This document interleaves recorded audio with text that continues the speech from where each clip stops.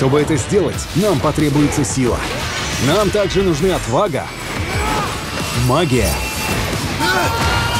и ты. Это еще что? Это Совамед.